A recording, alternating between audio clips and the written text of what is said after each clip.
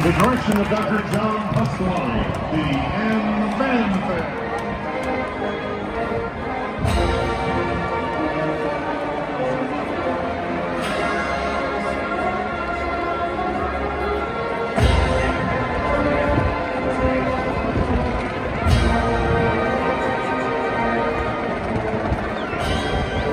Presenting Michigan Spoilers, Marcy Miller, Ella Dennis, and Zoe Dotz Brown.